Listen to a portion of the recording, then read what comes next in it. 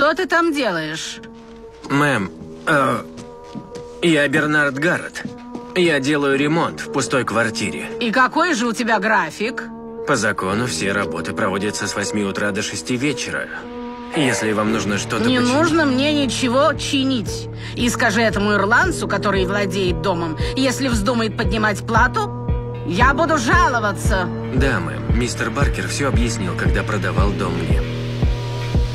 Не вешай мне лапшу на уши. Этот дом для белых. Ты не можешь его купить. Что случилось?